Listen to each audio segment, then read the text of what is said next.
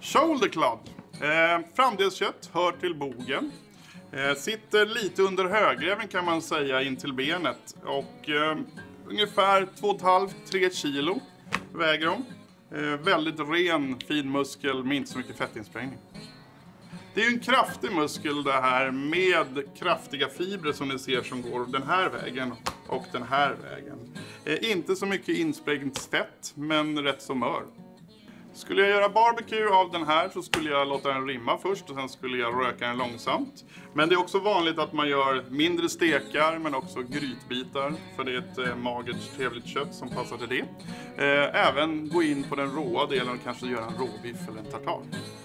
Tänkte göra en steak tartar och istället för att mala den eller skrapa köttet så tänkte jag fintärna det så att det blir enkelt att göra en råbiff.